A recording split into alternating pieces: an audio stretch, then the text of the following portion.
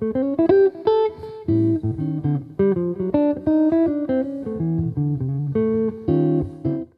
velikih kiksov, ki sem v zadnjih parih letih zasledil pri kitaristih, je to, da je manija sam sebi narediti kitaro, sestaviti nekako. Ne.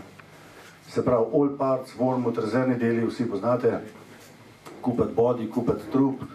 Na koncu morate vedeti, če hočeš dober body, dober trup, moraš od teh dveh blagovnih znamk, ki sem rekel, kupiti.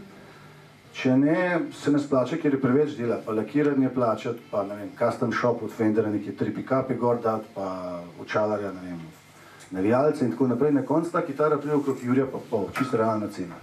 Za 1500 evrov imate kitar, ki jih v roko primaš in probaš, če ti sede, ti sede, uno, ki sestavljaš do konca, ne veš, a bo ali ne bo.